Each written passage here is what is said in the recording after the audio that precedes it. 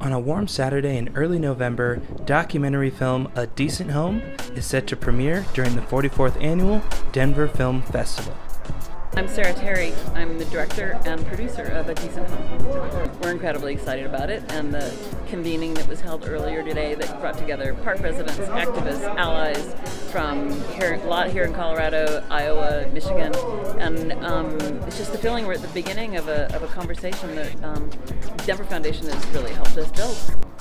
The film is the first documentary ever to be made about mobile home parks, featuring the story of a three year fight to save the Denver Meadows Mobile Home Park here in Aurora, Colorado. Okay. A Decent Home examines how housing policies, development practices, and private equity investment strategies are key factors in an ongoing housing crisis. The film festival submission makes a case for the mobile home ownership model as a legitimate solution to affordable housing through community land trusts and resident owned communities.